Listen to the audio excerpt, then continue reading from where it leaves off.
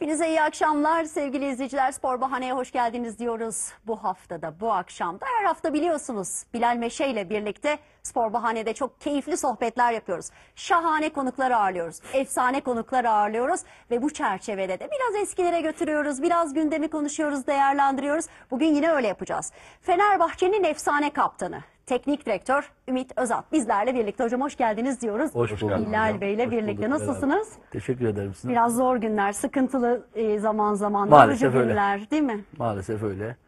Var futbolda bunlar var. Yani e, bunlar bir antrenörün ilk defa yaşadığı şeyler değil. Doğru. Son defada yaşayacağı şeyler değil. Doğru. Bir taraftaki şampiyonluk stresi, yaş- stresi yaşıyor. Bir taraftaki küme düşmeme stresi yaşıyor. Dolayısıyla bunlar futbolun içinde olan şeyler ama önemli olan orada o mücadeleyi alın terini dökebilmek, dürüst bir şekilde o mücadeleyi verebilmek. Ee, dediğim gibi ya, ne ilk defa yaşanılan bir şey ne de son olacak. Bu sene de bizim lig hani Avrupa'ya kıyasla ne kadar mücadeleci oldu. Üst tarafta şampiyonluk için 4 takım birden aşağıda Birçok 5 ülkede de 6 belli oldu yani. Aynen İngiltere, 6 7 Almanya'da takım şampiyon birden belli değil. sene Hiçbir şey belli değil biraz bu sene. Yani buradan şu çıkabilir. Ya Anadolu takımları mı ilerliyor? Ha. İstanbul takımları mı geriliyor? Sence? Ama yukarıda yine İstanbul takımları. Ama normalde şu şartlarda, e, şu imkanlarda baktığın zaman çoğunun bir 10-15 puan önde olmaları lazımdı. Yani en kötü yine birbirleriyle belki kafa kafaya olabilirler ama yani şöyle baktığın zaman ligin bu haftasında dördüncüyle e, lider arasında böyle 3 puan, 2 puan, 5 puan olmazdı. Dolayısıyla biraz doğru düzenli e, plan programı olan kulüpler mutlaka yukarıya yanaşıyor. Ama dört takımlı bir yarış hocam. Yani baktığınız zaman üçü de işte Başakşehir'i de araya koyduğun zaman üç büyük bir de Başakşehir var. Arkadan Trabzon biraz kopmuş gibi görünüyor ama yani aşağısı da bir garip hocam. Yani Çok. ilk defa böyle bir sezon yaşıyoruz. Aşağısı şöyle yani Bir nereden tane başlayacak Karagümrük nereden belli. başlasak bilmiyorum ama e, önce kendimizden başlamak lazım tabii ki. Biliyorsunuz biz geçen senenin 11. haftasında geldik. Burada son 10 yılın en iyi derecesini elde etmiştik. 8. olmuştuk. Sonrasında yeni sezon ve 3. hafta bir ayrılık olmuştu. Sonra 10 hafta başka bir hoca devam etti ve biz en son geldiğimizde o takım 18 puan 8 puanla 18. sıradaydı. Yani bugün o düşme potasında olan takımlarla en az 3 puan, en fazla da 13 puan fark vardı aramızda. Biz sonuncuyduk. Karabük bile bizden yukarıdaydı. Evet. Yani kulübün bir şekilde cenaze namazını kılıyorlardı. Doğru söylüyorsun. Belki o baraj maçlarında iyi oyun sergileyemedik ama 10 haftalık bir yükseliş. Sonrasında yani bu yarışın içinde hala bir, bir fikstür avantajı var. Bunu değerlendirmek hala elimizde. Dolayısıyla e, bu mücadeleyi vereceğiz. Ama şimdi öyle bir algı yaratılıyor ki önce tabii ekmeğini yediğimiz yerden başlayalım bunlara. Tabii tabii. Yedi düele karşı mücadele ediyoruz. Bugün Allah korusun bu takıma bir şey olsa ligin ikinci haftasında daha hocasına, yönetimine istifa diye bağıranlar ve bağırtanlar burada bir numaralı suçludur. Dünyada bunun eşi benzeri yok.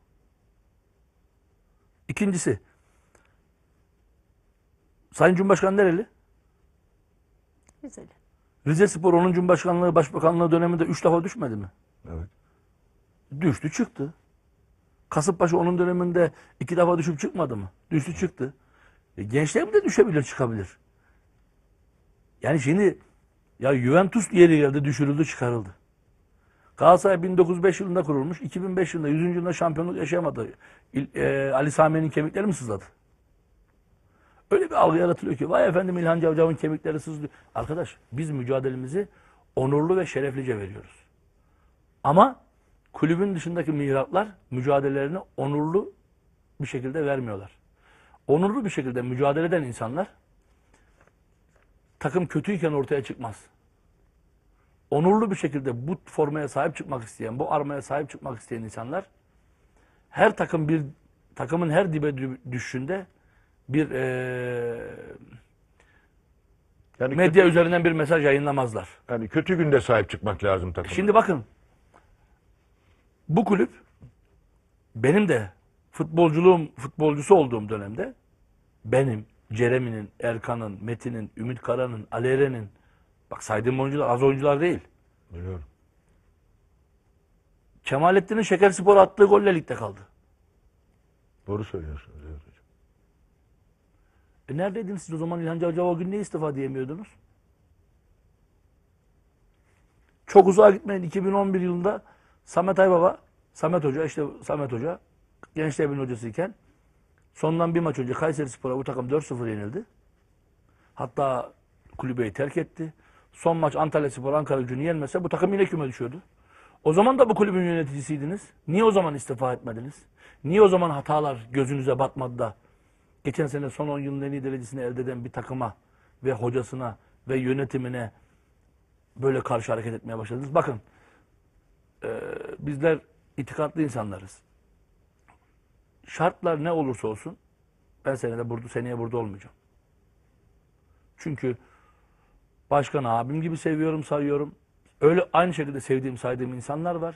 Sadece yetiştiğim, 9 yaşında girdiğim bu kulübe vefa borcumu ödemek için ben buraya geldim. İkinci kez kabul İkinci etme kez sebebiniz geldim. bu mu hocam?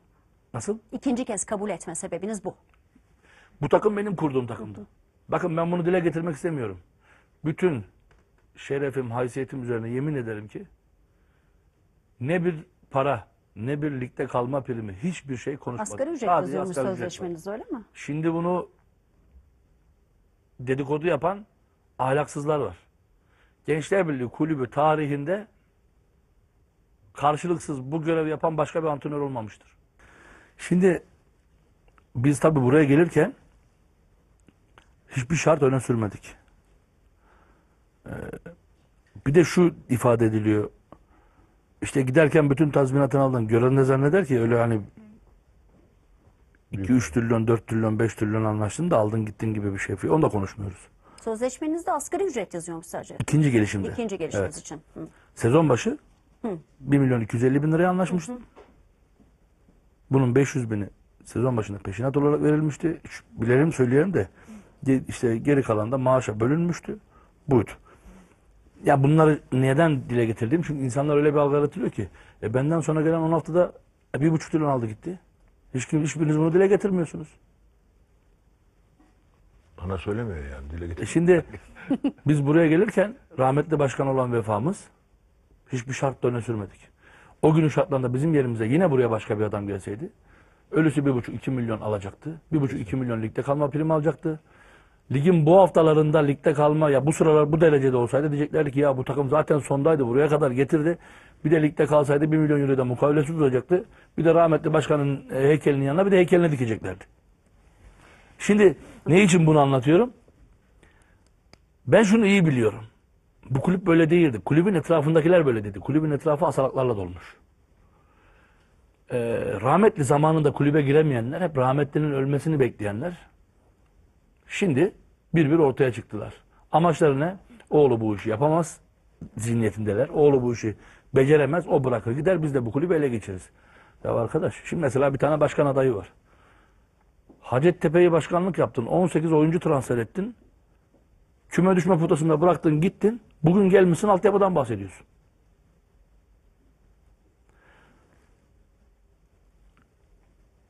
Yanın geçmişte bir Laurel ve Hardy dizisi vardı biliyor musunuz? Evet, ben biliyorum. Yanında da ona benzeyen bir basın danışmanı var. Ee, antrenmanı diyor basına kapatan hocaya haddini bildiremediniz mi? E ben geçen sene de antrenmanı basına kapattım yöneticiydim bildirseydin ya haddimi. Hocam sinirli ve E, odama kavgacı giremiyordun. misiniz? Hayır anlatıyorum buradan ne Yok, genel bir şey soruyorum. Odama ben. giremiyordun.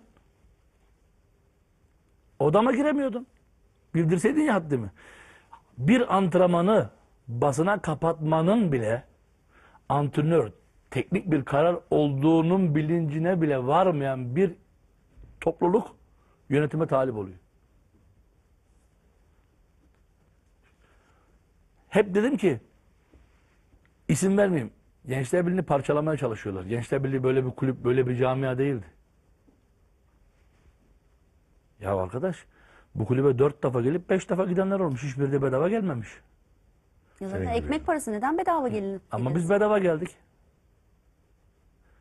Ben rahmetli Özal bu kulübe tesis yardım yaptığında ben bu kulüpte futbola yeni başlamıştım.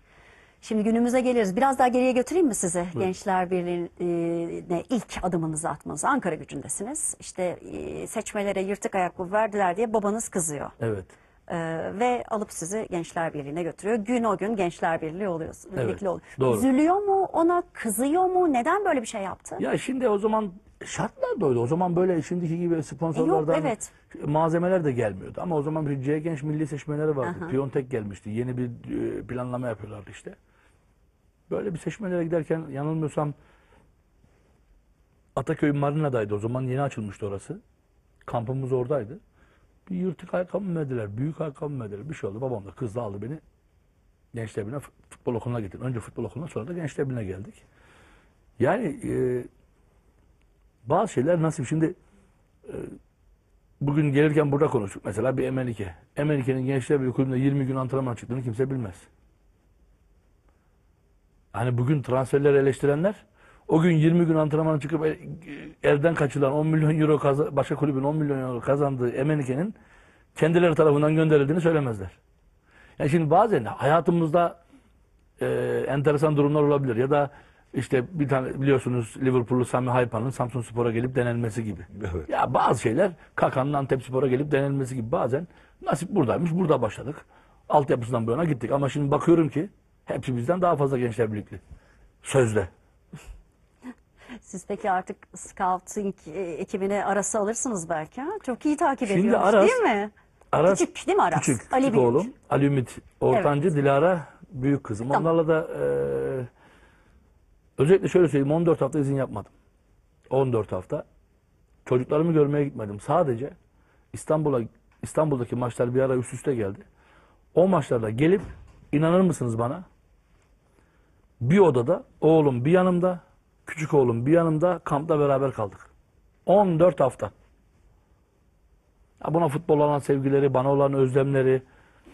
Ne Kızım da gelirdi kampa, bezi görürdü. Sonra dönerdi annesiyle giderdi. Yani Ali Kaleci değil mi hocam? kalecilik yaptı. Sonra Fenerbahçe'de miydi Ali? Ali Ümit şu anda e, yok. Fenerbahçe'de bir iki antrenmana çıktı. Sonra yapmak istemedi. Ali Ümit şu anda şey, e, siyasetle alakalı bir şey okuyor. Ha, büyüdü bayağı. Yani farklı alanlara ilgisi var ama futbolu çok seviyor. Ama Aras e, şöyle anlatayım. Geçen sene işte sezon başı transfer dönemi bana böyle baba Alanya Spor'dan gaz sahmayı alsana dedi. Dedim. Scout yapıyor yani adam. Ondan sonra e, anlat işte bu burada oynuyor, burada oynuyor. En son hiç unutmuyorum bir maça geldi. Başakşehir maçı. Beraber kaldık kampta. İnanır mısınız bana? Baba dedi. Çift santrafor mu oynayacağız? Bakar mısınız ya? Şimdi bilmiyor ama karıştırıyor. Şu, arkada diyor beşli mi oynayacağız? Halbuki arkada beşli önde çift santrafor. Nasıl olacak o kurgu? ha, olabilir yaparsın beş şık yap. Önemli değil ama bildiğinden sorma şimdi. Kulak dolgunluğu. Mesela antrenmanlara gelir. Ben oyunculara bir şeyleri anlatırım. Bakar oradan o taklit ettiğini görürüm. Sabah kalkar 7'de. İşte futbol kanallarını açar, spor kanallarını açar. iyi. Akşama kadar futbol izler. Dünyada tanımadığı futbolcu yoktur. Başakşehir maçının devre arasında tabii maçtan sonra öğreniyorum bunu. Yardımcım Aydın Hoca geliyor. Abi diyor bir şey söyleyeceğim. Ne oldu oğlum dedim. Aras dedi ki diyor babam niye devrede oyuncu değiştirmedi dedi diyor. Şimdi bizim e, yine Başakşehir maçı öncesi tabii çocuğunuz sevgi dolu bakıyorsunuz Allah acılarını göstermesin. Amin. Aydın Karabulut'la Serdar Güller çok severdi o. Şimdi Serdar'dan nefret ediyor. O seni bıraktı gitti diyor. Aydın gelince Aydın'la barıştı ama bırakıp gittiği için kızgın. Başakşehir maçı oturuyoruz Aydın. Ben hocalar falan oturuyoruz. Baba Aydın oynatma dedi. Niye dedim? Top ayağından çok açıyor dedi. Bakar mısınız ya? bir de dedi Aydın'ın bir ayağı kısa dedi. Ama çok Oğlum doğru- dedim sen bunu nereden söylüyor öğrendin? Eşek hakikaten. Yani Top ayağından çok açıyor gerçekten. baba dedi. Yani uzun atıp Bak, uzun böyle gitmeye çalışıyor. burnuyla dedi top dürtüyor. Baba dedi böyle olur mu baba dedi. Şimdi Aydın da bana söylüyor. Canavar ya. Bak diyor döverim seni diyor. Dövemezsin diyor. Yarın oynamıyorsun diyor. Şimdi tamam mı? Şimdi tabii hoşuma gidiyor. Oğlumun böyle futbol olan ilgisi, merakı. Yetenekli mi peki hocam? Ya şimdi şöyle o Arsenal Futbol Okulu'na gidiyor. Evet, evet. Sol bek oynuyor değil mi o? Yok da o yaşta mevki orada Hayır, çok zor. nispeten belli olur ya. Ee, bir ara onda böyle kaleciyle özentisi vardı. Abi öyle. Ee? Kayseri maçında Rahmetullah'la İlker'i aldım. Maç bitti telefon açtı. Yani yenildiğimize mi üzülelim? Onun o tavrına mı sev- sevinelim arasın? Baba önümüzdeki maç ne yap yap Rahmetullah ve İlker'i ilk 11 oynat. Gençler koşuyorlar, mücadele ediyorlar. İnanılmaz futbolu seviyor. İnanılmaz böyle bir şey olamaz. Yeteneği, Yani ya ilgisi inanır kadar? Ye- var mı? E Zaten benim de yeteneğim belki ilgim kadar yoktu. Bu işi seversen olursun. Çalışmadan Çalışır. futbolcu olma şansın yok. Yetenek bir yere kadar. Ama Bir gün bir yalandan seni antrenmana götürmeyeyim otur evde dediğin zaman kıyamet kopuyor. Sinirleri Gidiyor. Antr- bozuluyor. antrenman hayatta kaçırmaz. Antrenman bittiği gibi eve gelir, topunu alır, sitenin halı sahasına gider, orada yine topunu alır. Size mi çekmiş antrenman kaçırmama? 17 Yüzde yılda yüz. 17 tane kaçırmamışımdır Kaçırmadım. evet. diyorsunuz. Kaçırmadım. O kadar Zaten disiplinli bir kaçırdık, tam hocam ya? kaçırdık, futbolu bıraktık. Ama kötü Hocam oldu. bir şey söyleyeceğim. Bu sol bekten açılı sol kanattan böyle bir ifaden var senin. Sol bekte oynasaydım hayatım fa- bugün farklı yerde olurdum derken neyi kastettin? Şimdi şöyle Bilal abi, Fenerbahçe'deyken bu aslında sol bek olayı birebir şöyle çıktı. Şimdi tabii ben geçmişte okul takımlarında hep sol bek oynuyordum. Sol bek. ama iki ayağında var senin. İki ayağımda vardı. Bir gün bir Rize Spor maçı o Victoria'nın işte yanlış sarı kart, çift sarı kart falan ertelenen maçında Ali Güneş sakatlan, İsmail Güldüren mi sakatlan? İsmail Güldüren İsmail sakatlan. Güldüren Christoph. Daum'un Evet, hoca Christoph oldu. da. Daum'un dönemi. Ben de ön libero oynuyorum. Daum beni çağırdı. Dedi ki Thomas'a söyle. Şimdi Okan abinin yardımcısı Thomas. Galatasaray'da da oynamıştı bir stoper. O dedi sol beke geçsin sen Nusran öyle stoper oyna. Dedim sen hiç orayı bozma. Oyun durdu bayağı bir durmuştu. Ben dedim oynarım. Oynadım. 45 dakika. Çok iyi oynadım. Üç gün sonra Denizli Kupa maçı var. İlk yarı yine orta saha. İkinci yarı beni sol beke aldı. Serhat'a iki asist yaptım. Sonra oyunun gittiği yani kapandığı noktalarda işte kenar ataklarını çoğaltmak için e, orta sahaya bir tane daha ofansif oyuncu almak için falan filan kullandı, kullandı, kullandı. Ama bu böyle de kalmadı tabii. Dün bir oyuncumu çağırdım. Cailton'u. Mevkisindeki dünyanın ben oyuncularıma genelde mevkilerindeki en iyi oyuncuları izlettiririm. Niye izlettiririm? Futbolda bir yere gelecekseniz sahada çalışmanızla ve hocanızın gösterdikleriyle gelemezsiniz. En önemli şey gözlemdir. Gözlem yapmadan bir yere gelme şansınız yok. Çünkü bakacaksın bu adam nasıl topa vuruyor, nasıl top kontrol ediyor, nasıl savunma arkasına sızıyor veyahut da nasıl kademe yapıyor, nasıl adama gidiyor, top rakipteyken ne yapıyor, top bizdeyken ne yapıyor. Yani bir gözlemdir, bir şeyler kaparsınız. Bu böyledir. Antrenör de bir antrenörden bir şey. Kim diyorsa ki ya benim tarzım yok. Herkesin çalıştığı antrenörden aldığı bir şeyler vardır. Olmaz. Hiç megalomanlığa, ukalalığa gerek yok. Herkes herkesten bir şeyler öğrenecek, onun sentezini yapacak. Siz Şimdi- kimi izlerdiniz hocam? Kimden? Şimdi ben sol bek oynamaya başlayınca o gün size söyledim ben çok küçükken evde çorabı top yapardım. Semih abi gibi, Semih Yuva Kur'an gibi kayarak top almaya çalışırdım. Böyle öyle öyle öyle. E şimdi antrenmanlarda, maçlarda tekrar antrenmanda işte sol ayağımızı ortatmalar. Sonra geldim 24 yaşında Oğuz abiden ayak dışı vurmayı öğrendim. Ben 24 yaşına kadar ayak dışı nedir bilmezdim. Sonra belki de Türkiye'de belki Avrupa'da ayağının dışını en iyi kullanan oyuncu oldum. Bugün Köln'e gidin ayağının dışı kim kullanıyor diye söyleyin. Ümit Özat derler. Sadece kim kulu ayak dışı deyin. Ausen Riss deyin. Hatta Daum da için ne tuhaf bir adam derdi seni. Yani şimdi Trivela aslında Türkiye'de benden çıktı diyorsunuz. Yani yok, ben o- şimdi Ünal, burada da- Ünal bur- Karaman da mı kullanırdı değil mi? Ünal yok. Karaman da Yok, Ünal abi çok vururdu. kullanmazdı da. Vururdu ama sanki Şöyle hatırlıyorum. onlar daha kısaydı 15 metre 20 metreydi. Yani şimdi onu söylediğimiz zaman yine farklı insanlara ya durup da sanki birine laf atmış gibi pozisyon olacak. Yine beni bir karmaşanın içine almayın yani beni. Dolayısıyla insan kendini geliştirmesi lazım. Geliştirmeden, gözlem yapmadan bu işin başarıya ulaşma şansın yok. Şimdi Türk futbolunda şöyle bir algı var. Evim var, arabam var. 1 milyon euro param var, hayat bitti. Lan senin araban, evin 1 milyon euro paran kadar parayı Ronaldo ayda kazanıyor. Ama adam Ve her durmuyor. hep daha iyisini istiyor. Hep artık paranın bittiği yerler oluyor. Maalesef bu profesyonelliği Türk futbolcusuna aşılayamıyorsun. Gösteremiyorsun. Söylüyorsun. Alabilen gidiyor. Alamayan kayboluyor. Hocam İlhan Çavcı'yla rahmetli bir e, diyalogunuz da var. Yani şimdi gençler bile ne kadar çok sevdiğini hani işte asgari ücret falan diyorsunuz. Bir Kayseri maçı öncesi yine bir söyleşiden aldım bunu. İşte prim 12 bin lira veriyorlarmış. Biz ne yapalım diye aramış hocayı. Hocam bu da demiş ki Çok demiş. Yok. çok demiş. Yan yana. Ya bu kadar zengin mi oldu bu kulüp demiş. Yan yanaydı. Yan yanaydı. Yan yanaydı. Kayseri'de. Yine ilk maçım Kayseri'deydi. Otelin yanında pastane vardı böyle. Kış bahçesi gibi. Çağırdı beni. Evladım ne prim verelim dedi. Allah rahmet eylesin. Mekanı cennet olsun. Ne veriyorsunuz dedim ama ben hakikaten ben böyle o zaman parasıyla 6-7 bin lira falan biliyorum geçen senenin şeyle. Evladım dedi 12 bin lira veriyoruz dedi. Oho dedim siz zengin olmuşsunuz bayağı dedim. Tabii yüzümü okşadı. Sen ne güzel bir çocuksun dedi. 15 yaptım primi dedi. Şimdi, 6-7 verdi demişsin galiba sen. Orada. yok yani ne veriyorsun dedim. 12 veriyoruz dedi. Ben dedim ki 6-7 biliyordum dedim. Çok iyi prim veriyor musunuz dedim. Sen 15 ne güzel bir çocuksun dedi. 15 yaptım dedi. Şimdi tanımak lazım. Bana dediler ki ya İlhan Cavcav bunu aldı bir hafta sonra İlhan Cavcav Ümit Özat'ı kovar dediler. Bir tartışmamız, bir sözümüz, hiçbir şeyimiz olmadı. Bir gün kadroma yetki karışmadı. vermiş sana galiba. değil mi? Bakın bir gün kadroma karışmadı. Güvenmiş. Yok bir gün yok, birisine karışmış ama. Söyleyeceğim. Hastanede Fenerbahçe kupa maçına gideceğiz. Ne düşünüyorsun oğlum yarın dedi. Valla şöyle şöyle düşünüyorum. Yani e, bu oynamayan oyuncuları oynatmamız lazım. Bir yerde hazır olması lazım. Oğlum dedi senden bir şey rica edeceğim dedi. Hofu dedi oynatır mısın dedi. Fark yeriz mark yeriz dedi. Bak, açık söyleyeyim çok net. Ya şimdi o 40 yıllık başkan. Yani onu orada kıracağıma yani Ya bir de İki tane de transfer gitti o aslında arada. bu. Değil mi bildiğim kadarıyla? Yok. İki tane oyuncu da O gitmişti. zaman daha İrfan Can falan gitmemişti. Ahmet Çalık falan gitmemişti. İşte onları oynatma Şimdi- sakatlanır mevzu var bir de. Bir Evet. şeyin uslubu vardır. Yani birini tanımak lazım. Çok zor dediğiniz bir adamı tanırsınız, onu idare etmek çok kolaydır. Kodlarını Benim için de lazım. tabii. Zor. Benim için de öyle, karşındaki için karşındaki için de öyle. Yani bir gün bile ya, bir gün Bilal abi bak yani o kadroya karışıyor dedikleri adam Allah rahmet eylesin. Bir gün, bir gün yani o olayın dışında oğlum bu niye oynadı, yendin, yenildin, bunu niye çıkarttın yok.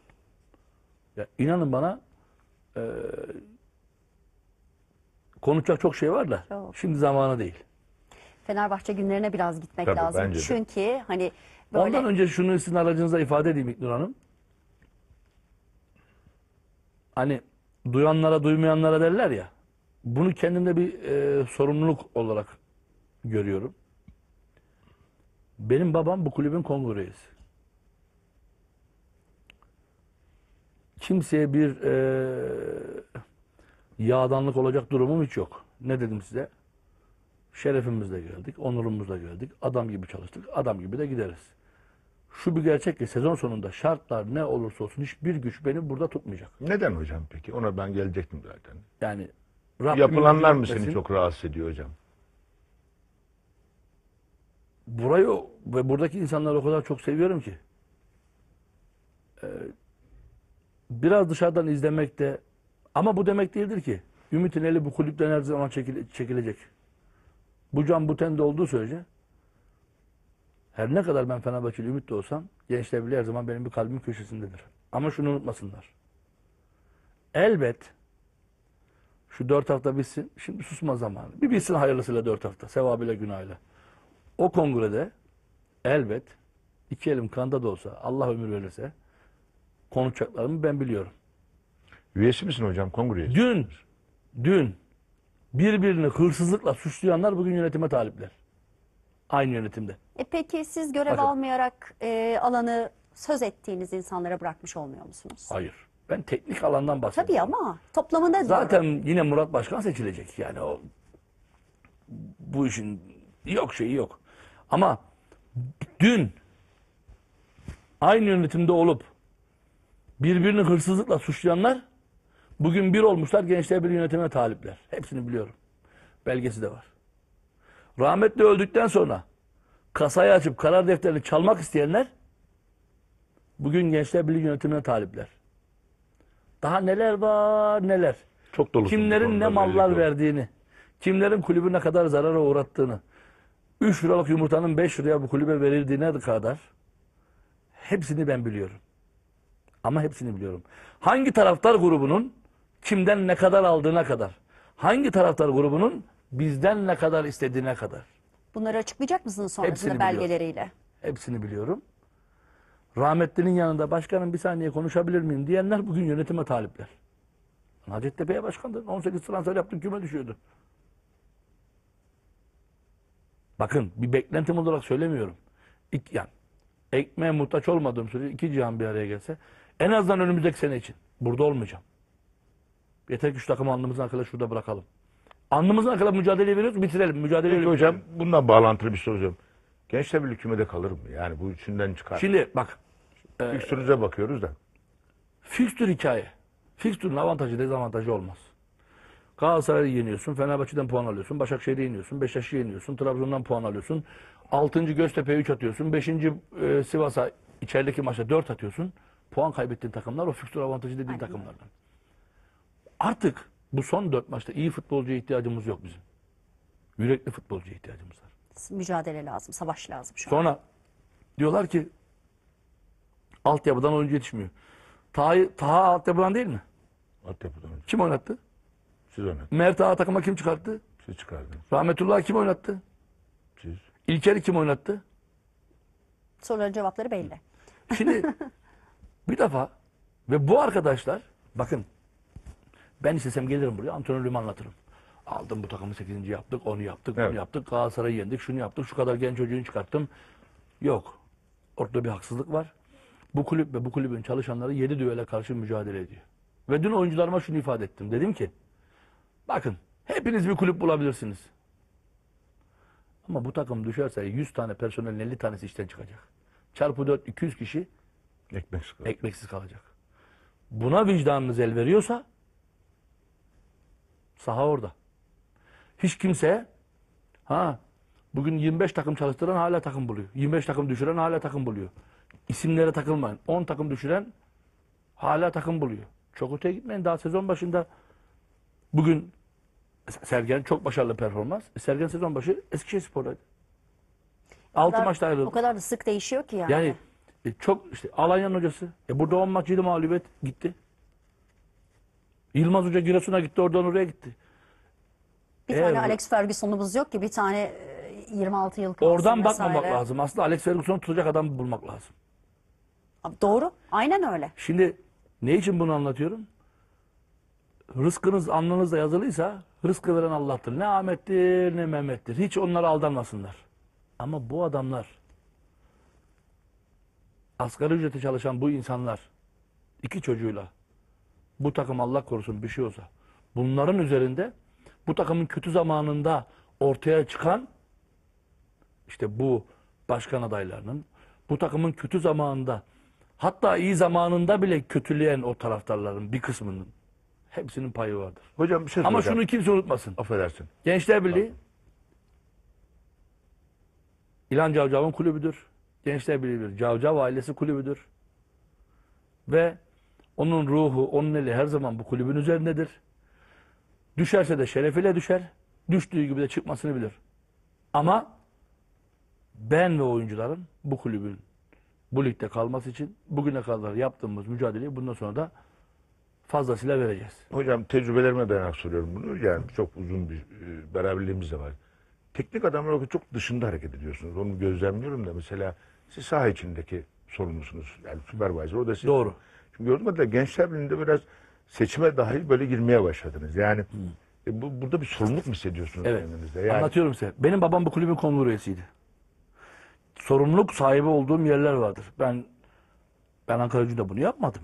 Ben orada antrenörlüğümü yapmaya çalıştım. Samsun'da bunu yapmadım. Elazığ'da bunu yapmadım. Manisa'da yapmaya da gerek duymadım. Orada, evet ben bu kulübün de bir işçisiyim. Yaptıklarım kimine yanlış da gelse ben bu sorumluluğu kendimde hissediyorum. 5 ay önce, 6 ay önce bu kulübün içinde olup eğer yanlış varsa o gün yanlışa göz yumanlar 10 yıl önce rahmetli zamanında yapılan rahmetli de Allah kanı kanı rahmet eylesin hepimizde emeği var ama peygamberde değildi. Şimdi ben size bir şey anlatayım. Rahmetli zamanda yapılan transferler neler var neler. 2 milyon 300 bin euro Lekiş diye bir transfer yapılmış. Adam ortada yok. E peki siz neredeydiniz arkadaşlar? Bu kadar bu kulübün parasını savunuyordunuz da. Bu kadar bu kulübün parasını düşünüyordunuz. Neredeydiniz? İkide bir kasadaki para, kasadaki para, kasada... Ben gençler bilmiyorum kasadaki para 30 trilyon para, haddeki 20 trilyon para, haddeki 40 trilyon para. Senin bir tane büyük takımın 5 milyon euroya aldığı bir oyuncu sen ne zannediyorsun sen? Sen bana proje koy. Param var de. Altyapıya scout getireceğim de. Onu yapacağım de. Bunu yapacağım de. Ya geçmişte yaptıkların ortada. Hacettepe'yi küme düşerken bıraktın. Bugün her gün ben başkan adayım diye sağda solda yemek veriyorsun. Evet. Olabilirsin. Buna hakkın da var. Bana şunu diyebilirler ya Ümit teknik adam. Bakın ben ne kimseye yağdanlık yapıyorum. Ama ben bunları söylemeyi Bir borç ben bunu söylemezsem vicdanıma hesap veririm. Kimseye değil ama vicdanıma hesap veremem. Niye veremem? Çünkü bunlar nasıl ki büyük liderler vardır. Hep sonrasını planlayanlar vardır. Bunların hepsi İlhan Cavcav sonrasını planlayan insanlardı. Ve nitekim kalpleri de kötü olduğu için bunu harekete geçirdiler. Şimdi Ama bunlar fragman. Bakın. Bu kulüp için söylüyorum sadece. Başka hiçbir kulüp için bunu yapmam. İstese yarın beni göndersinler. Zaten tazminatım yok, hiçbir şeyim yok. Gönderebilirler de. Birine, biraz önce söylediğim gibi şirin gözükmek için de yapmıyorum. Ama bu kulübe, bana, oyuncularıma, o kulüpte asgari ücrete çalışan işçilerin ekmeğini kazanmasına bile Bu takıma bir şey olsa onlar bundan mahrum kalacak. Bu huzuru vermeyen insanlara bunlar daha fragman kongrede konuşacaklarım var. Konuşacağım. Çünkü bu sorumluluğu kendimde hissediyorum. Ya bana ne deyip çekip gidemem. Peki gelecekte başkanlığa adaylığınızı koyar musunuz hocam? Yok benim böyle ben antrenörlük Ya da yapmak yönetimde istiyorum. olur musunuz? Yok ben antrenörlük yapmak istiyorum İlknur Hanım. Benim zaten yolum belli. Ha Allah'ın dediği olur. Bu yarın siyaset de olur. Başka bir şey de olur. Bir hayalim var derken Fenerbahçe'yi kastetmiştiniz o dönemde konuşurken. Fenerbahçe'de var mı bu hayallerinizin içinde hocam? Ne gibi? Antrenörlük Teknik adam. Teknik adam. Ya şimdi kul kurar Allah güler.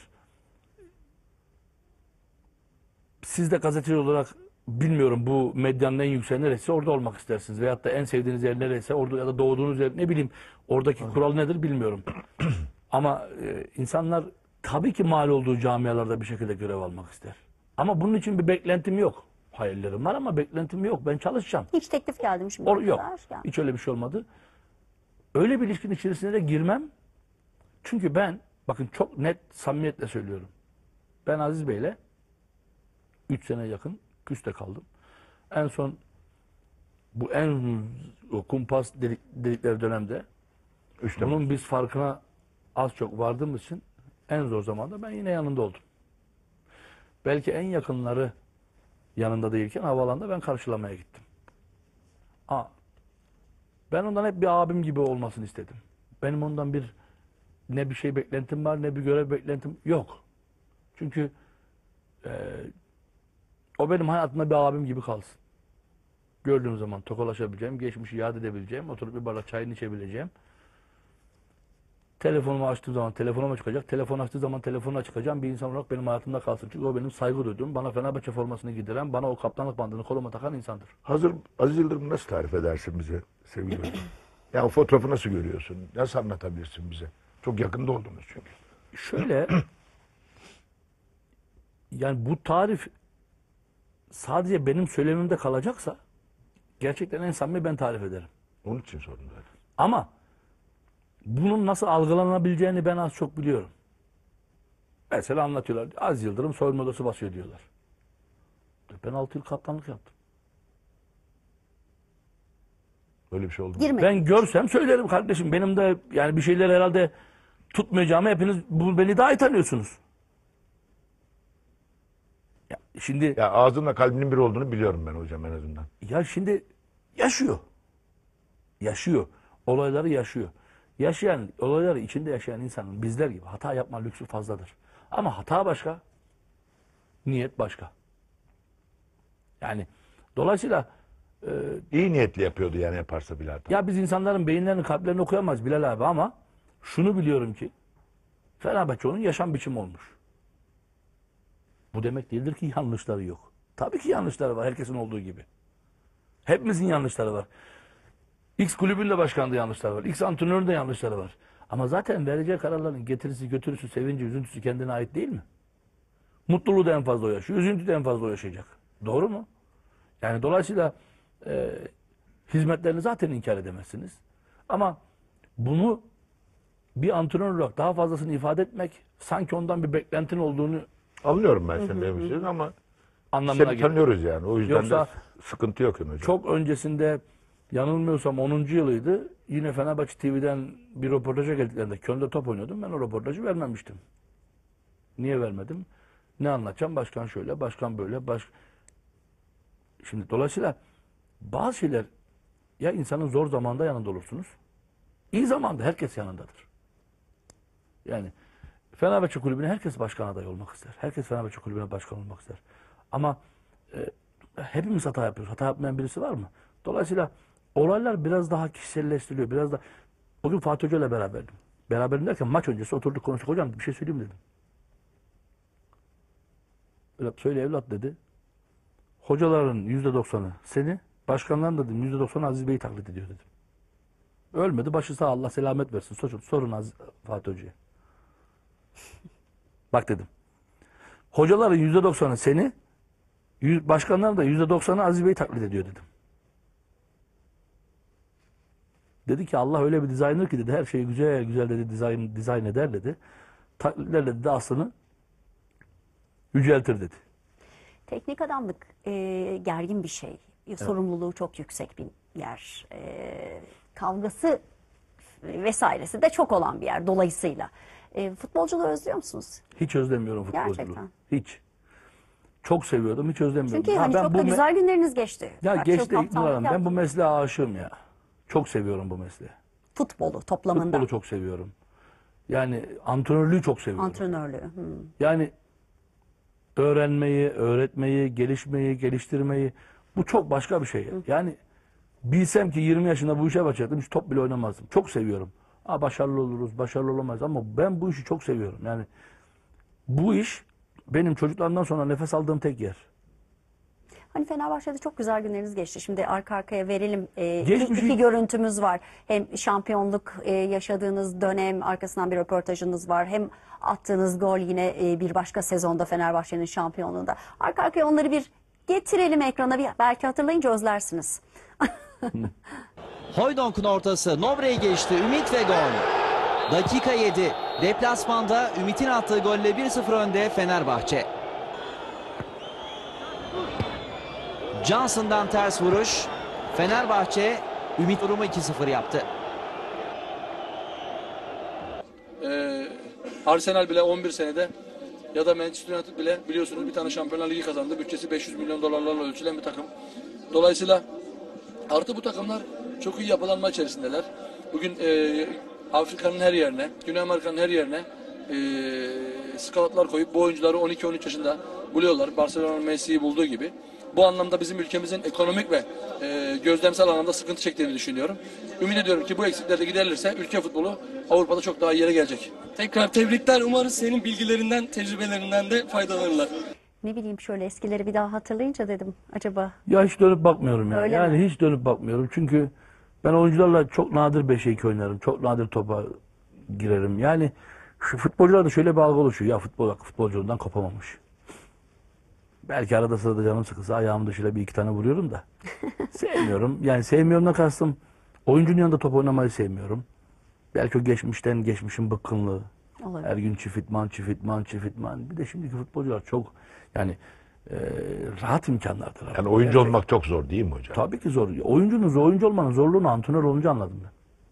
O zaman gençsiniz, vücut kaldırıyor ama şimdi bakıyorsunuz oyuncuya yaptırdığınız antrenman normal bir insanın kaldırabileceği bir şey değil. bir şey değil. Hocam şu sarı, Giderek saç, de sarı ağır saçlı bir olsam küpe taksam heykelim bir dikerlerdi. Öyle. Alex'le ilgili bir galiba Öyle yok Alex'le ilgili değil de şimdi bakıyorlar ya biz Ankara'da doğduk, büyüdük. Tamam 20 yıldır İstanbul'da yaşıyoruz da ne bileyim diksiyonumuz belki düzgün değil. Kaşlar kara, gözler kara. E, bakıyorsun yani şimdi e, ben belki mevcut yeteneklerimle ne bileyim futbola Fenerbahçe altyapısında başlayıp futbolu orada bırakıyor olsaydım çok daha başka yerlerde olurdum. Ya da yabancı olarak buraya gelseydim diyorsunuz. Tartışmasız. Ben 17 yılda Türkiye'de görmediğim değeri bir senede Almanya'da gördüm. Şimdi bu Almanlar senden benden daha az biliyor? O zaman Almanya demişken bir de gidelim. Hakikaten çok hani böyle Bence hiç canımızı göstermeyin. yakan. İstemiyor musunuz? Yok. Orada aslında şey Bilirsiniz ama. o şey görüntüleri vermeyeceğiz. Hiç sevmiyoruz o hali hakikaten. Sonrasında Daum'un ve Mondragon'un ağlaması kadar bana hani bu futbol kareleri içinde dokunan çok az şey olmuştur Şimdi bakın gerçekten. orada da şunu ifade edeyim. Sanki onun ağlam o da insan abi ağlayacak ya ona hizmet eden bir oyuncusu Ama var. çok sevildiğinizi hissettirdiler onlar o şeyle. 5 yılımız geçti Tabii, beraber. tabii. Bugün Davam Fenerbahçe'de 3 sene antrenörlük yaptı. İki şampiyonluğunu benim kaptanlığımda yaşadı. Son şampiyonluk yine bizim kaptanlığımızda. Biz denizde kaybettik ama bir antrenör için büyük başarıdır. Siz Avrupa'da bir kulüpte iki sene üstü şampiyon yapıp üçüncü sene son maça şampiyonluğu kaybetseniz bile mukaveleniz 10 yıl uzar. 5 yıl Yani uzar. bir de şey var, Ümit Özdemir Bözeri de var. Avrupa tutup oynayıp da tek kaptanlık bantı takan Türk oyuncu. Yani şöyle ifade edeyim. Çok önemli bir şey yani. Ya bir, birinci kaptan yoktur, kaptan olmuşsundur, biri sakattır, kaptan olmuşsundur gibi bir şey değil. Kulüp tarafından resmen açıklanan ilk Türk resmi kaptandık. 6 ayda yarım yamalak bildiğimiz Almancayla. Ama insanlar tabii olaya bu tarafından bakmıyor. Yani dedim ya 16-17 yıl burada görmediğimiz değeri belki orada gördük. Dünyanın oyuncular var. Benfica'dan Peti geldi, Porto'dan Maniş geldi. Efendime söyleyeyim eee, o Vome geldi, Pierre Vome, Solbek, Inter'den. E İşte Mondragon'a bakıyorsunuz. Şimdi Gremio'da oynayan Jeromel var. İşte bizim Roda Antal var, o Muhammed var. Yani öyle var, Novakovic var. Bu kadar İyi oyuncuların takım, olduğu bir ülkede, bir takımda, bir kulüp tarafından resmen açıklanan bir Türk kaptan olmak Çok önemli. Bunlar geçmişe baktığınız zaman. Ama yetenekli Şimdi oyuncudur hocam. 21 yaşında ben gençlerimle takım kaptanı oldum. Bursa'ya gittim teklif ettiler. Dedim ki gençlerimle bunun sıkıntılarını yaşadım. Kabul etmedim. 11 ay sonra Fenerbahçe'de kaptan oldum. Bir yıl sonra Köln'de kaptan oldum. Ya bu işlerin Liderlik vasfınız mı var? ya onu benim söylemem olmaz. Hayır yani. O bunu takdir çünkü edenlerin Var tabii ki. bunu takdir Yoksa değil edenlerin kararıdır. Alex'e yok diyorsunuz liderlik vasfı. Kitapta Ben- bir bölümünüz var böyle e, sizin Şimdi bakın. kaptanlığınızı eleştiren. Şimdi e, onu da ifade edeyim. Bir defa bir şahıs olarak, kaptan olarak benim de Alex'e borcum var. Çünkü yaşadığımız şampiyonluklarda Alex'in ne kadar payı varsa Pierre Van Hooydonk'un da o kadar payı var. Nobre'nin de o kadar payı var. Luciano'nun da o kadar payı var. Ben şunu ifade ettim. Amacım aynı dönem oynadığım bir futbolcuyu kötülemek değil. Şimdi biz takım kaptanıydık. Şampiyon olduk. Dediler ki Alex vardı. Dediler ki Pierre vardı. Dediler Kezman vardı. E bizden sonra Roberto Carlos'lar da geldi. Bizden sonra daha büyük futbolcular geldi. 6 yılda bir şampiyonluğum var. Nasıl olacak? Bir de buradan bakmak lazım değil mi? Tabii ki. Bizdeki bu yabancı hayranlığını Ama Arkadaş. yemekler istediğinildiği Evet. zaman yeniliyormuş. Ha? Onun ben kaptan. takım kaptanı yemeğe oturmadan takım yemeğe oturamaz. Ya bir aslında bütünlüktür bu. Kaptan da yemekten kalkmadan yemekten kalkamaz. Biraz askeri düzen. Bu benim anlayışım. Bana orada saygı duyulmuyorsa o bandı çıkarırım koyarım oraya. Ondan sonra istediğim saatte gelir otururum, istediğim saatte kalkarım. O zaman orada o başarıyı yakalayamazsınız. Takım olmanın ruhudur bence. Doğru doğru Öyle bir beraber şey oturup yok. kalkmak yanlış bir şey değil. Biz Alex'in doğrularını, yanlışlarını tartışmayacağız. Biz kulübün doğrularını, yanlışlarını tartışacağız. Ve başarıyı. Orada bir hiyerarşi olması lazım. Orada bir yani nedir bu? Tepeden tırnağa. Herkes bilecek. Öyle kendi kafasına buyruk. Gel otur git. Avrupa'da olabilir. Ben Avrupa'da yaşamıyorum. Yaşadığım yere uymak zorundayım. Hele de gelip 3,5 milyon euro kazanıyorsam uyumak zorundasın. Ama maalesef bu yabancı hayranlığı aldı başını gidiyor. Hocam bir de şu tabii ki e, hep sıcak olaylar yani onun üzerinde Şenol Hoca'larınızdaki muhabbeti çok merak ettim ben. Yani Şenol Hoca da sen çok seversin, o da seni çok sever. Çünkü neticede aynı kulvarda yarışan hocalarsınız yani, aynı meslektesiniz. Yani bir de tabii ki Aykut Kocaman'ı da sormak isterim. Şimdi ikisi arasındaki konuya girmem. Evet. Çünkü benim mağdur olduğum zamanlar kimse benim gösterdiğim cesareti gösteremedi. Ben hep teknik adamlara, hep meslektaşlarıma, abilerime hep sahip çıktım. Hep herkes için geçerli bu. Ama benim için bir taraftar sahaya atlarken başka bir taraftar tribünleri gezdi. Başka bir teknik adam tribünleri gezdi. Ben yapmam. Dolayısıyla iki kişi arasındaki bir olaya girmem. O dediğiniz şahısla ilgili de Şenol Hoca ile ilgili yani. evet bir şey konuşmanın Söylemekten imtina mı ediyorsunuz evet hocam? aynen öyle Ee, bir şey konuşmanın çok doğru olduğuna artık bu saatten sonra bir şey getirece- getireceğine inanmıyorum. Ee, söyleyeceklerimi söyledim. Hatta yine Galatasaray maçından önce güncel olmayan bir bir röportaj güncelmiş gibi yayınlandı. Ta o gün o günün sıcaklığı yapmış olduğumuz bir röportaj, 4-5 ay öncenin sıcaklığı yapmış olduğumuz bir röportaj. Dolayısıyla temcit pilavı gibi milletin önüne burnuna getirip milletin işi gücü ikide bir onun hocası böyle, bunun hocası böyle bunlarla insanların önüne gelmek doğru bir şey değil.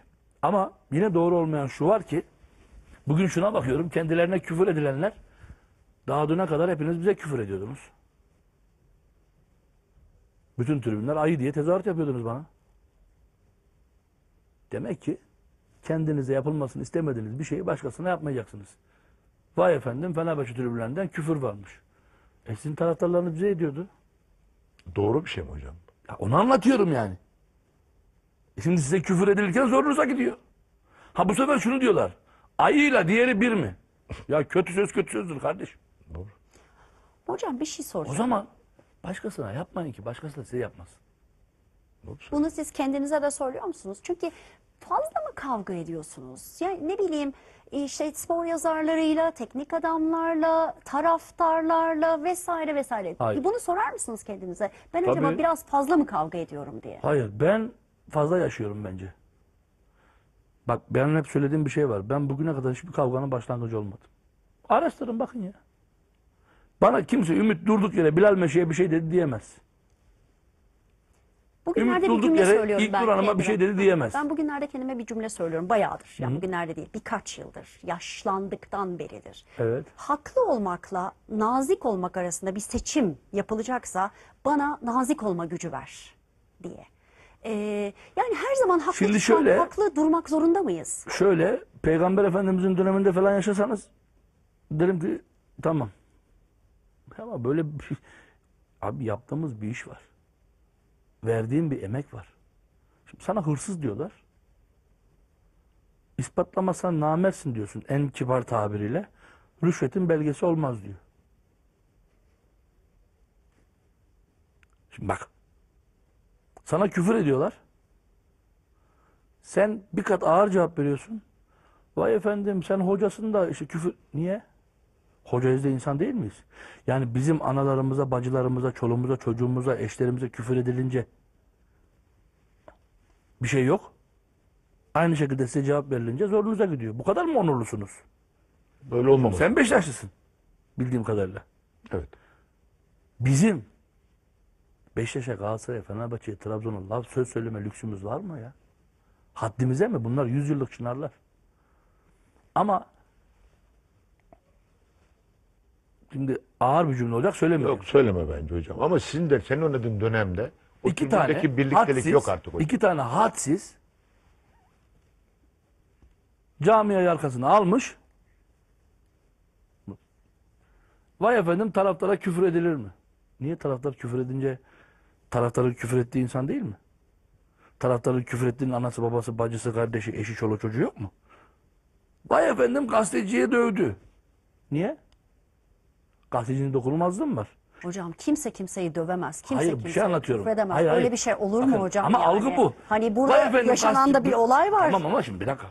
Aa, bakın şimdi olayı burada irite ediyorsunuz. Şimdi biz Yok yok yani ben Tamam, Bilal ben ne demek nereye yaşadığı- geldiğini anladım. Tabii tabii siz Arda ile yaşadığı olaya geldik. Aynen öyle. Şimdi birinin biriyle yaşadığı olay bütünüyle bütün gazetecilerin her yaşadığı olayda gazetecilerin haklı olduğu anlamına gelmez ki. yalan yazıyorsa açarsın davanı.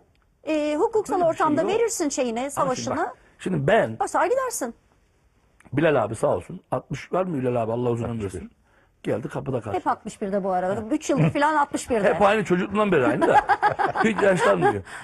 Geldi kapıda karşıladı. Yani şimdi şunu ifade etmeye çalışıyorum. Dünyanın en nazik insanı. Dünyanın yani hani bir laf vardır. Veren el alan elden bereketlidir. Yani ne dökersen onu toplarsın. Yani yolda giden birine durduk yere bir şey söylerseniz, bir hakaret ederseniz yüz insandan kaçı size nazik davranır? Bana söyler misiniz? Bu yüz insanın içinde okumuş olsun, okumamış olsun, ne bileyim e, mimar olsun, mühendis olsun, doktor olsun, avukat olsun. Bir tepki vermez mi ya? E peki bu tepki verenler doğru yapıyor da antrenör mü tepki verince Yok. yanlış yapıyor? Bir şey söyleyeceğim. Bizim programımız gülmeli, eğlenmeli, kahkahalı programdı. gülelim. Bayağı kavgaya getirdiniz. Türkü sevmeyen insan sevmez diyorsunuz. Evet. İki satır bir şey söylersiniz bize. İçinde bulunduğumuz durum Türkü hakikaten söyleyecek durum değil diyorsunuz. Şu anda türkü söyleyecek durum Tamam, değil. Bir haklısınız. 20-21 gün var. Olur, haklısınız. Bir Şu başka anda programda. kan kusacağız, kızılcık şerbeti içeceğiz. Ama ondan sonra konuşacaklarımızı Allah'ın izniyle konuşacağız. Haklısınız. Kesinlikle hak verdim. Bitiriyor muyuz? Bitirmeden şunu söyleyeyim. Benim gözlemime, gözüme inanın. Programın da ekran elektriği çok iyi, sizin de ekran elektriğiniz çok Ay iyi. şahanesiniz. Bilal abi bırakacağım diyor, şu yapacağım diyor ama bence çok uzun soluklu gitmesi lazım. Hiç bırakmayız onu. Nereye gidiyor? Ya tabii sen onun öyle yoruluyor. bakma. Olmasa O hocamla İstanbul'u beraber özlüyor. hocam teknik adamla bırakır ondan beraber program yapalım. Ben moderatörlük yaparım derim ama hiç yapmam Ümit Hocam'la. Hiç yapmam. Neden ya? Şaka. Ben olursam İlknur Hanım az konuşur. O daha yanında. Yok, Kadınlar anda- daha çok hayır, hayır, konuşan Bu cümle isterler. bana gelmedi. Bu cümle bana gelmedi zaten. o Akşam gitti. zeytinyağlılarını yiyorsunuz. Zeytinyağlı yiyeceğiz. Hadi bakalım. Hadi, afiyet Zeytinyağlı olsun. yiyemem anam aman diyerek e, noktayı koyuyoruz. Hocam ağzınıza sağlık. İnşallah teşekkür Gençler. Birliği gerçekten çok köklü bir kulüp. Ankara'nın değil Türkiye'nin çok önemli kulüplerinden. Tribünü inanılmaz güçlü bir kulüp. İnşallah çok içten söylüyorum kalır ligde önemli çünkü. Teşekkür ederim. Çok sağ olun. Kolaylıklar diliyoruz. Ben de aynı dileklerde bulunuyorum. Çok teşekkür Hem ederim. takımım hocam hem kulübüm. Sağ olasın. Senin mesainden ettik biliyorum ama Estağfurullah. seni buradan konuk evet. etmekten gerçekten müthiş keyif aldım. Çünkü çok iyi bir dostum benim yani Ümit Özat. Yani abi kardeş gibiyiz. Bunun gibi futbolcu da pek kalmadı açık açıkçası. Yani onu da söylemeden geçemeyeceğim. Evet. Ve noktalıyoruz sevgili izleyiciler. Spor Bahane'yi bu akşam da haftaya yine şahane konu konuklarla birlikte karşınızda olacağız Bilal Meşe ile. Şimdilik hoşçakalınız.